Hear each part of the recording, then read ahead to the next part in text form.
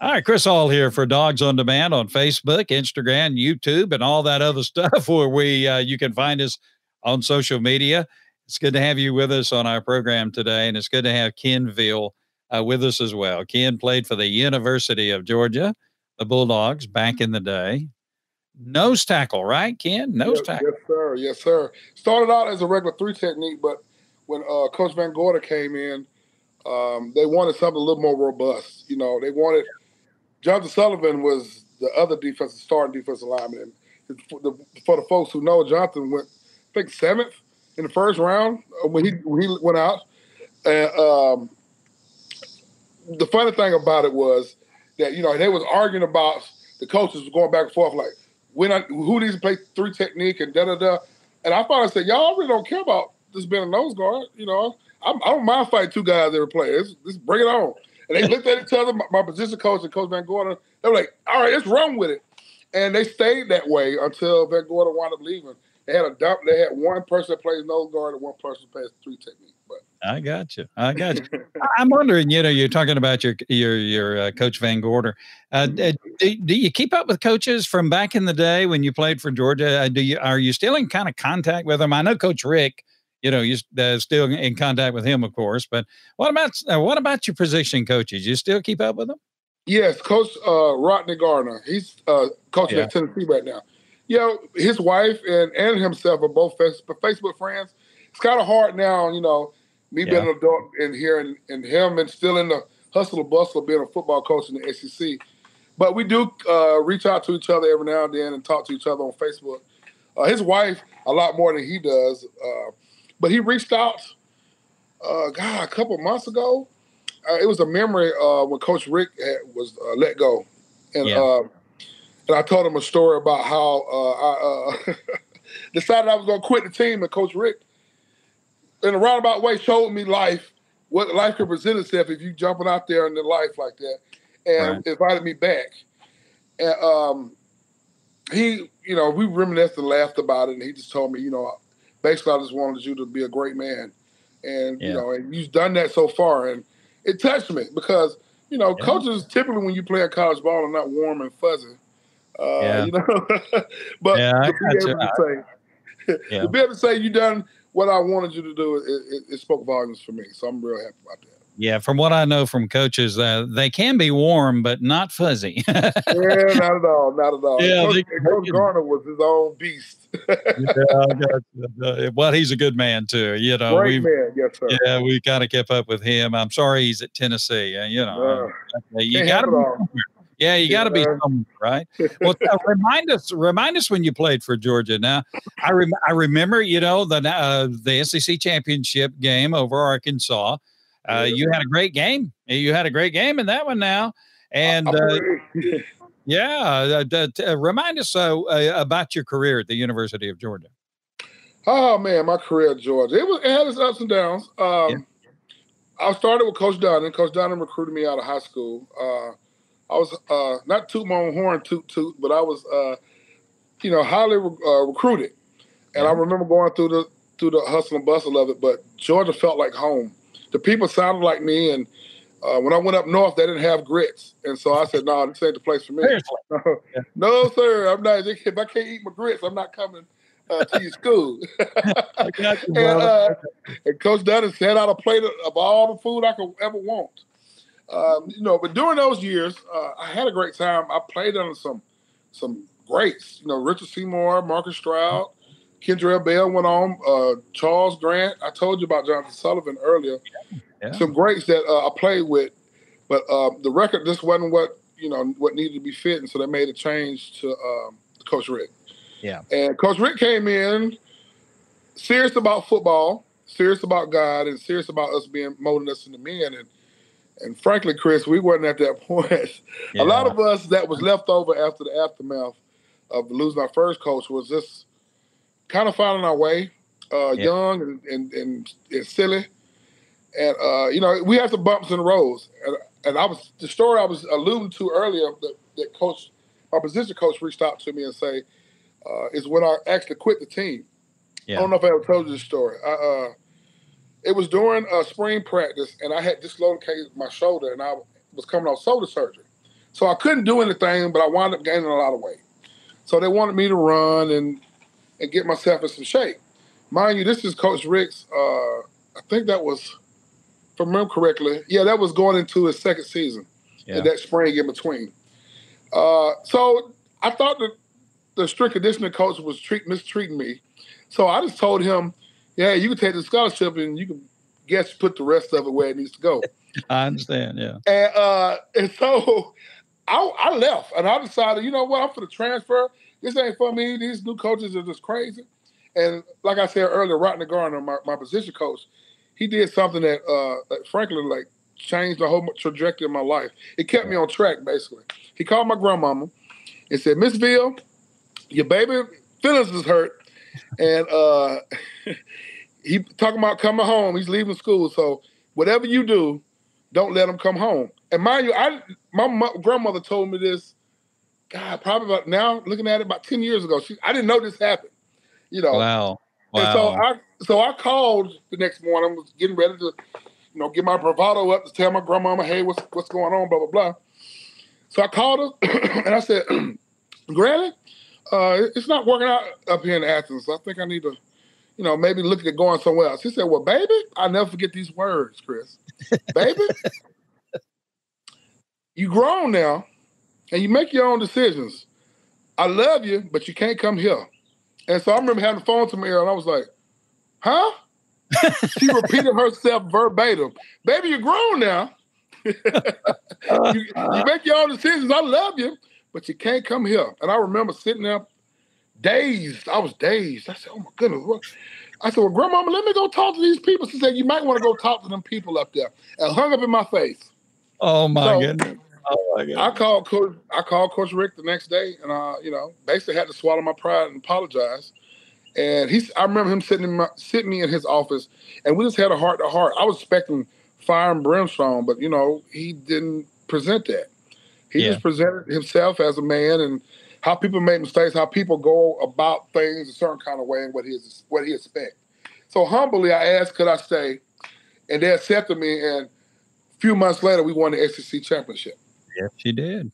Yes, you did. And you know, I, you know, uh, but we love Coach Richt, and you know, and he's he's on on all of our prayer list. You know, we pray for Coach Richt and for his health issues. I've heard so many stories like that from former players or his players, uh, you know, that he had on the team of how to this day still has a personal connection with them, you know, and he'll call them about this, that, and the other, and they'll converse. And, you know, I, I remember I, you know, I didn't play football. I played basketball back in the day. And mm-hmm. I remember my coach, Coach Bub Denham, uh, you know, he's, he's gone on now. He's gone on to his heavenly reward. Mm-hmm. But it's amazing. It's amazing the impact that coaches yes. have on you and what you remember just as you go through life uh, you know that that relationship between a coach and a player when it's really good and special that's really something isn't it just like you're talking about with rodney garner and uh, coach Richt, that's something isn't it it's, it's genuine and it's, it's a bond that you know it has to take a lot to break and the, the fact that you have some another adult that's trying to guide you to be the best that you can you know, right. not not fuzz, uh, woman fuzz, and not kissing on you, baby. It's gonna be all right, but it's it's direct and um, it's just a, it's just solid and it's concrete. And young men need that, especially yeah. now more than ever. The guidance to be able to know that you know not everybody uh, is gonna be patting you on you on your butt, telling you everything's gonna be okay. You know, because right. that's not life. That's not reality. You need to understand what's going on and how to operate through this world you know, if we had your best, if someone had their best interest in heart for you to be successful, then it's, it, obviously you need to try to listen and hear what that message is. Yeah, uh, you know, I was. It would have been fun to kind of see you if you did go home to grandma. If uh, when you walked on the front porch, I wonder what that reception would have been like. Would you have come out with a switch? I mean, as big well, as you were. What, well, what would have happened? Thing. My grandmama told me once I hung up the phone, she boo hooed for about twenty minutes.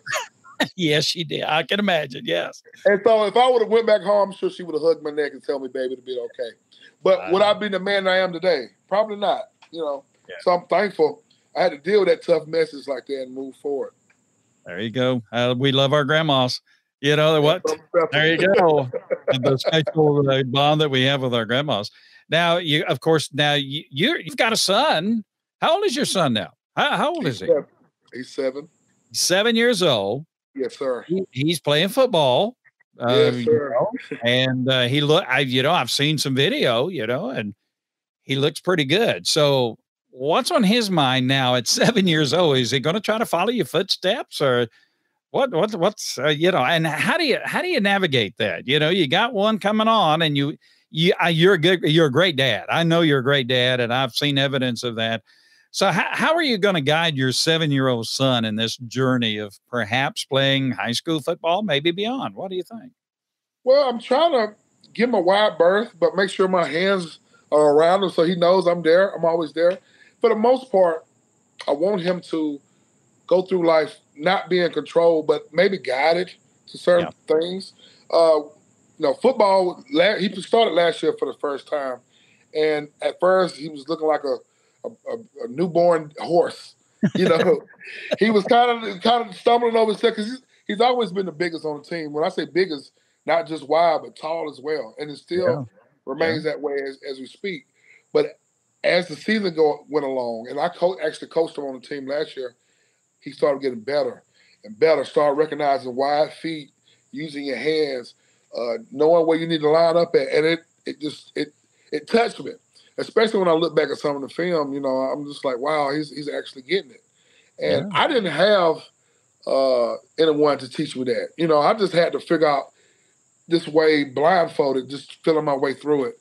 And the fact that, you know, he has somebody, has me to be able to help him guide us. Hopefully he has uh, a step up in the game, you know. I stumbled my way into the NFL. Hopefully he can stumble his way into the Hall of Fame. You know, that'd There be great. go. Go go for it. Why not? You know, why not? You look at your kid and, and he's got potential. And, uh, you know, we, we, before we started our program, I, I was kind of joking with you. I, I was observing you and him one time actually in person. Uh, we were at a football camp and you, you told your son, you, you need to run, you need to run hard, but you don't need to run but like five yards. If you're going to, you're going to play offense or defensive line, you don't need to run.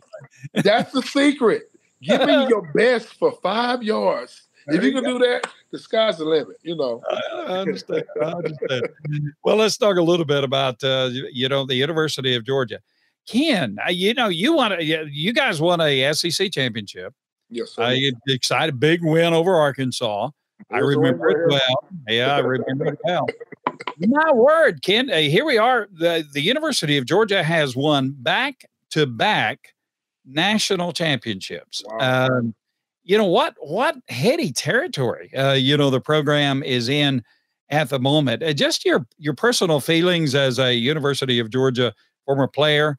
Uh, you know, uh, from uh, and of course you're always a bulldog. You love the Bulldogs, obviously. Right. What do you what do you think about this with back to back national championships? Pretty cool, huh? Pretty cool. Like it's I'm bursting with with pride. It's the I you don't believe you Chris, I don't know as as a former player, uh, you know, we take wins and losses a lot differently than than your average fan or, or your alumni. You know, it's who as a letterman, like it, it hurts me. Like when Georgia would lose, I won't watch football to the next Saturday. Like I feel like I didn't earn the right to watch football because my team lost. Yeah. And my wife, uh, bless her heart, she's from Alabama. She's an Auburn fan. You know, she can't have it all. Bless her heart. I understand. I understand. Well, you know, she'll get right with the Lord one day. So one day, one day, I'm praying, and I mean, hopefully it works. But uh, you know, she's like, I used to love to watch football. She's like, I hate football season now. And this was a pre national championships because we were so close. And the one uh, we lost to Alabama, who she almost had to take me to the emergency room. Yeah, that was a tough one. But I'm trying to tell you, this past season, after we won the first one, she looked at me one. It was one Saturday. She said, "You know what? You have been so chill this season, baby. We, we we reached the top. We reached the mountaintop. I got my I'm natty. good. I got got, I'm all right for a little bit now. I got my natty, you know, and there you go. and for us to turn around and win it again, I'm so Wow. proud of Kirby. You know, Kirby was a GA. I just missed playing with Kirby. Um, I got there in '99, so he was him and Bobo was both GAs, and I remember us. You know, I was on scout team. Me and my buddies on scout team, and Kirby would lose his mind. Y'all give him a look and just run, just going ballistic. And Bobo would be like, "Man, Kirby, chill out, man, chill out," because you know, they were like 19, 20. Well, hold on, they were 23, 24 at the time. I was 19 at the time. Yeah. And I'm just like, who is this guy? Like, this guy is, is a lunatic. And to see, and to see him coaching them boys like they need to be coached, I am. Yeah. Man, he knew something then. I wish I would have caught on what he was talking about then. Golly. Yeah. yeah. And you know, you, you think back to that time and the journey that he had, you know, uh, Valdosta State and, uh, you know, all the stops that he had. And then, of course, with Alabama and learning so much. Mm-hmm. And uh, my wife worries about Kirby. Uh, you know, she says uh, she watches him on the sideline, the intensity that he has, uh, you know, and she's she's she worries about him. I got to tell Kirby one of these days. You know, my my wife worries about him. She says, "I hope he I hope he has a hobby. I hope he does something to relax." But he's so wired, and uh, you know, and uh, but he's he's in on it. Um, you know, and what a marvelous job. I mean, yeah. what can you say? You know, I think for a coach, you reach you reach you know such a milestone in your career when you win a national championship. I mean, that's the crown jewel in your, you know, your your crown as a, a college football coach.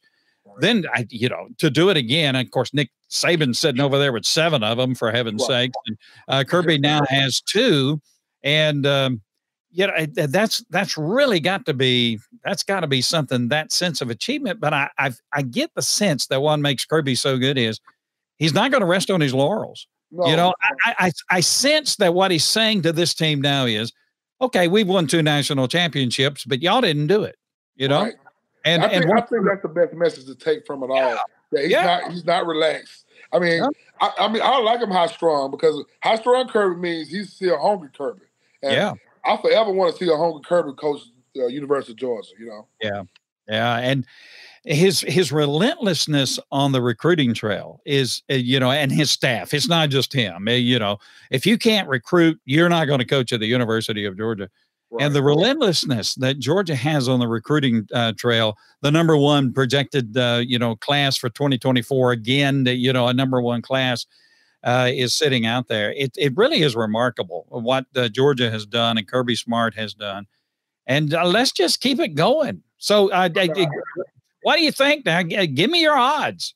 Uh, you know, I, I, remember last year when Georgia was playing in the national championship, a Florida fan posted this. The Florida fan said, I hope Georgia wins the national championship because the chances of them winning it three times in a row is so small.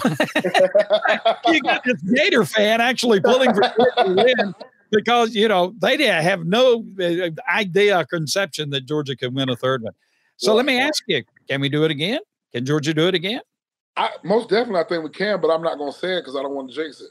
Uh, I, think I think it needs to happen, uh, but I think it needs to happen naturally. I think the way Kirby does it, when each week is a new game, who cares about what the future holds? We need to take care of what we need to take care of now.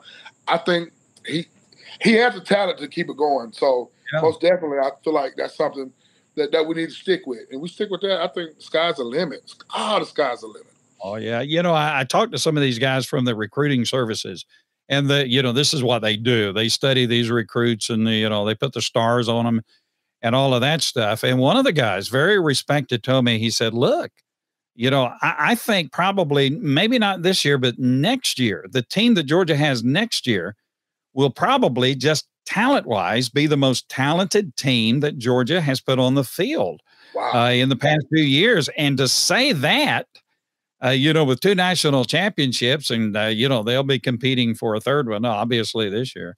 That mm-hmm. really is something. I, I just it's it's amazing to me uh, what Georgia has done. You know, I'm an old school Georgia guy. I watched, uh, you know, Herschel Walker and the gang win the national championship in that Sugar Bowl game. Mm-hmm. I actually watched the mm-hmm. game. I was alive during that time.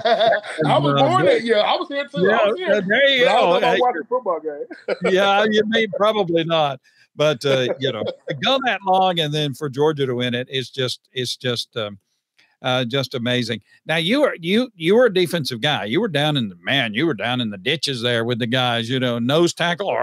you know, you're you're down in the uh, down in the trenches with the guys.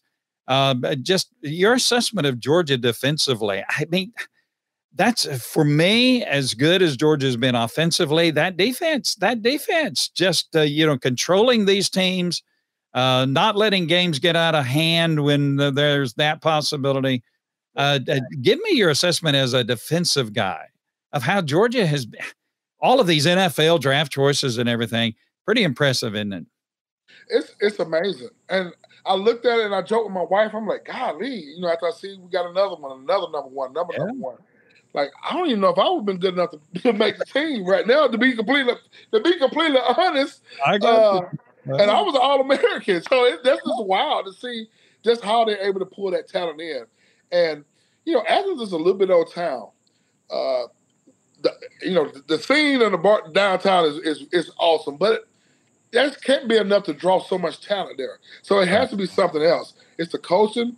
It's being able to, to know, hey, I can come up here and become a great player. I can come here as a good player and leave a great player. And that, you know, we have a reputation. Um, you know, they say, you know, Georgia, I say Georgia was tailback you for a while. I don't know about now. I think they say we linebacker you right now. Yeah, yeah. But at one time, uh, I D lineman. We had some of the best defensive linemen you know, in the SEC. You know, we got a Hall of Famer, uh, Richard Seymour, Marcus Stroud, first round, uh, Charles Grant, first round, uh, Jonathan Sullivan. Great people that play, and this was pre-winning the national championship. And that's why I think Kirby doesn't get enough credit. He gets great credit for recruiting, but I don't think he get enough credit for his uh, being able to turn talent, turn uh, you know water into wine, basically, turning right. some of these young men and molding them into great players that they wound up becoming. Yeah, I, I heard one of the recruits talking about, you know, how how Georgia recruited him, and they basically just told him, look, if you come to the University of Georgia, we're going to run you. It's going to be hard. It's going to be tough. You're going to want to quit, you know, and and it's going to be, you know, if you come to Georgia, you're going to run the gauntlet uh, through practices, and it, it's going to be tough. But the end result will be when you're on the field, you're going to be the best one out there uh, you're going to have a chance to win and you'll have a chance to go to the next level. And it's like a challenge, I think, to you know, to a lot of the young players. Hey, you can go somewhere else. Yeah, you can go somewhere else, and and you, maybe you'll you'll prosper there. But if you come to Georgia, it's going to be tough. You know, they just they just tell them it's going to be tough, but the reward is going to be great if you'll I mean, stick. But, but think about it, Chris. We have like first and second rounders that's not even starting on Georgia team getting drafted. Right. Yeah, amazing. You know? So it's really no excuse to saying, "Oh, I am not getting playing time." If you come to Georgia, follow the program what he's saying, and actually put your heart into the program, your your blessings are coming your way because yeah. you're gonna you're gonna leave a great player, you're gonna leave a great man, and then the opportunities. Oh, you from Georgia? Uh, so people already know. Well, we know what Georgia being like. Yeah. Come be a part of our team and be a part of our organization. Yeah, especially the Philadelphia Eagles. They want all the Bulldogs apparently. Oh man, I was, an Eagles fan when I was a kid because they had Reggie Reggie White. Oh, I yeah. was a big fan of Reggie White. So and Randall, Randall Cunningham, I was a fan of him. So now yeah. I'm back an Eagles fan. It's just wild because yeah, I'm following them boys. Yeah, you know, I can't. I don't know about rooting for that quarterback so much, but the defense, I'm there I for it all day. You know, I, I watched uh, Gunner Stockton, uh, not Gunner, uh, Stetson Bennett. I, I got Gunner on my mind. I was talking to, but Stetson Bennett in his uh, NFL debut, uh, you know, the preseason game. Amazing. And it just looked like the Stetson Bennett from the University of Georgia. Yes, now, sir. You know, I think it took him a few plays to get in there. You know, obviously you're going to be nervous, mm-hmm. and and the level is different. Uh, you know, on yeah. the program, you know that the level is so much different. But Stetson, I mean, he looked good. I just, you know, he probably will wind up apparently on the depth chart, the uh, number three quarterback for the Rams. But I think he's got, I think he's got game that will play in the NFL, don't you? Man, Chris, he played against the best defense in the SEC, in the, not SEC in the country. So it, he was playing. I don't want to say it's quite as much as the NFL, but probably a fingernail away from it. You know, the yeah. defense that he played against was amazing. And every day in practice, that competition, you know, it, it, it sharpens the knife. It makes him hungry, makes him gives him an edge. And you know, we talk about stories and how Kirby develops. You know, Stetson Bennett's story is amazing. I, um, I, constantly tell my son like about him, like, man, you can't you can't even write that story. It wouldn't make it in Hollywood because it would be too unbelievable. Yeah. But the fact that how he was able to to just change it and say, hey, this is who I'm gonna be and this is who I am. I'm sticking to my laws, and then it worked out like it did. Man, that's amazing.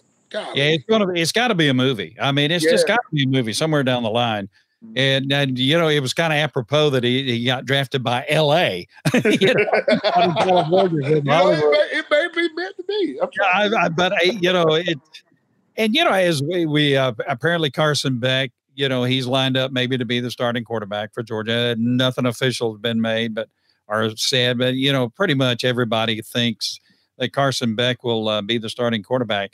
Now Carson, he's got all the he's got a rocket arm, and uh, you know he's he's a little more mobile, I think, than people give him credit for. Now he's not Stetson as far as running ability is concerned, but he he can be, you know, he's not bad in uh, moving. Uh, so you got Carson, you got uh, Brock Vandergriff, you got Gunner Stockton, you know, in the quarterback room, and, and then you're going to be adding Raiola and Puglisi, you know, as they come in recruits. Uh, pretty impressive. My my my, I wonder, you know, Stetson just had that intangible, man, that intangible ability for leadership. Uh, you know, Stetson, I, I think, had a chip on his shoulder that translated into him playing with confidence and he was just going to show everybody that he was, you know, uh, should be the quarterback of the University of Georgia. You know, I don't, I, I don't know Carson Beck personally. Uh, he's a very talented guy. You just kind of wonder, okay, you want Carson to have that attitude too. You know, I, I don't think Stetson was arrogant on the field. I think he was confident on the field. I, he had a little arrogant streak off the field, but I think on the field, I think uh, you know that uh, Stetson was was very confident. I, I want Carson to have that same kind of like swagger, you know, where you do the phone to the Tennessee. Kind of uh, so, uh, yeah, you think thing, with, the thing with that is though, each yeah. player each player has bring their own things to the table. Um, right. You know, we might not necessarily need that. We maybe have somebody else that, that could ooze that that that uh, charisma to do that. You know, what I, all I want and all I ask is him just to play in his lane, do what he right. does best, and just and just get bring the team, you know, what they need. This is this is another win. This another championship. Yeah. Just stick with us, stick with the team, and do what you do, and I think he'll be fine. Yeah, you know, I don't always agree with Paul Finebaum, but we do go. But uh, but he did put uh, you know he he put Carson in his top five quarterbacks in the country, and I agree with that. I I've got Carson on my Heisman watch list. I, I think he's going to have a great year uh, for Georgia. Georgia's just so stacked offensively and defensively. You know, as you look forward to the season now, you know, uh, Georgia initially the schedule looks pretty favorable for Georgia. Uh, you know, Oklahoma was supposed to be in there, but the SEC messed that up. Um, and uh, you know, make made a substitution on the schedule uh, for Oklahoma. Um, so as you look at the schedule, I've been looking at the schedule. I, I think the games there's two games you got to watch and that's Ole Miss at home and Tennessee away, and those are back-to-back games uh, in the schedule. If I think if there's a you know a concerning part of the schedule for Georgia, that may be it. What do you think? I mean, SEC is the SEC. You know, you can lose any Saturday, but I, I don't think people are giving South Carolina enough credit. Yeah, uh, man, sure. Coach Beamer's down there doing some things with the program. He's getting them kids to buy in, and once you can get a coach and get the team to buy in to what you're selling I mean, you got to watch out for them. And South Carolina was always the pivotal game. So I always looked at that game and I'm a nervous wreck every time we play that game because it would all depend on who was going to have a decent season. You know, that's right. how it used to be when we played. You know, if we won, we were going to have a decent season. If they won, you know, they may win one or two more, but that would be about it. yeah, I got you. I understand. Yeah, but uh, but that's the one I'm looking. I'm more intrigued the most because that's our first look at uh, somebody that's gunning for us. I think that we have to right. have the opportunity to try to knock us off the pedestal. Uh, Spencer Rattler, he, he's he's okay quarterback. He had a great he had a great end of the season with that big win over Tennessee and, right. and Spencer. And I, I just I lo- I'm like you. I love Shane Beamer. I, I, just I you know I love his honesty. You know, in his press conferences. Never will forget when uh, you know a couple of years ago when Georgia just really took South Carolina out and they were asking him about the game, you know, and he was talking about all these five stars that Georgia had. Uh, but he's just so honest, and I, I, I think Shane Beamer. I think he's gonna he's gonna be he's doing a great job at South Carolina. I think you know I'm with you. He, there's is something to watch uh, there. Uh, so uh, you, you know I um, who's going to win over in the West? You you got Alabama, you got LSU, you got Texas A and M Arkansas is not bad. Uh, they may not be at the level with the other guys. So, uh, and this year is the last year of the divisions, you know, and then it's all going to be together. So as you as you look over across the pond, I would say in the uh, SEC West, who, who you think's coming out of who who are who is Georgia going to play in the SEC championship game? Let's put it like that.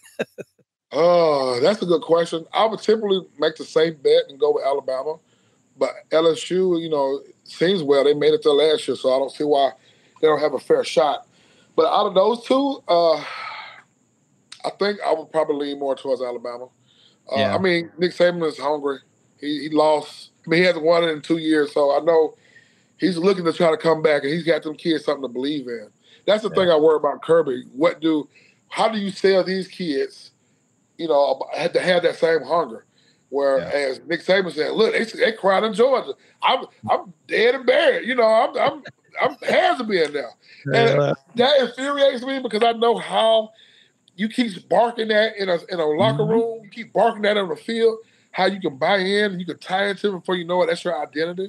So yeah. I just I just I'm curious about our, our identity. Um, they have a, a practice for us, a scrimmage this Saturday that's right. open to the alumni to the Letterman. Yeah. Uh, I was headed down there. I'm not sure now. My son they picked up an extra jam, uh, jamboree game, so I might be in North Paulding, in, a, in the scorching heat, pouting. oh man. It is August in Georgia, isn't it, brother? I'm Ooh. telling you, it is. Ooh. and You know, the thing about Nick Saban is I think he just spent a gazillion dollars on some kind of house on the ocean uh, somewhere. so, you know, that may be an indication Nick saying, you know, I might give it one or two more seasons, you know, and go from there. I don't, I don't know. You know, just college football is fun. Uh, it, it, we're a couple of weeks away. It's just fun. I'm ready for uh, college football uh, to get underway, and and uh, I know you are. Uh, you are as well. Here's here's my teams. Out of these teams, these teams can make the playoffs and win the national championship. See what you think. See what you just give me off your cuff. What do you think? I, I picked out some teams that I think uh, can make the playoffs in 2023. If you make the playoffs, you got a shot to win the national championship. Number one, I've got is Georgia, obviously. Then I got Michigan and Florida State. I like Florida State. You know, Ooh, interesting. Okay. Ohio State, USC, uh, Alabama, LSU, Tennessee, Penn State, Washington, Clemson, and Oregon. I know that I think out of those teams, we're going to get our four playoff teams. And, you know, obviously one of those four will win the national championship. Am I, am I, did I leave off anybody? Do I need to delete somebody? What do you think? Uh, it's, it's a pretty solid list. Um, you know, I like to respect uh, the West Coast. Did you say USC? You did yeah. say USC, didn't you? Yeah, so, USC. What about Utah? Utah, you did you put Utah on your list? Didn't put Utah. That might be that might be the team on the outside looking in. Yeah, um, yeah. But you know the schedule is uh it's favorable for them. You know, I don't think a lot of people give them credit. This is the last year I would say the Pac the Pac twelve, can we still call it that? It yeah. still has it still have this power. So I right. feel like if, if Utah runs a runs a gauntlet, they could be there. They could be there third, fourth. And they they were good last year. Uh, you know, they were solid last year. Uh, Ken Veal's been with us. Ken, of course, uh, played for the University of Georgia. We'll just call it back in the day. the late 1900s, yeah. you know, that, that was, you, you, do know that was last century, right, Ken? I know it. oh, me. You and I have been around for a while, indeed. Uh, but uh, Ken's a great guy. Uh, Cedartown, that's what I'm talking about. Cedartown High School, perennial yes, uh, football power in the state of Georgia. He represents Cedartown wherever he goes. And uh, Ken, it's been a lot of fun to have you on our program. Just good to sit around and talk about football. Okay. Yes, and, sir. Uh, yes, sir. and thank you for joining us. And we'll try to talk to you soon. And if you go to that, uh, if you go to that game, you go to that scrimmage on Saturday, I might call you and get some intel. How about that? Okay. Okay. Now, now, you might have to. I'm have to be. Uh, have to blur my voice out, mess my voice up so people can't hear us me. I understand. I understand. Okay. hey, we can do that. We can be sneaky if we have to, right? all right, cool, Ken. God bless you, my brother. And yes, thank sir. you for being with us. You all right. Care.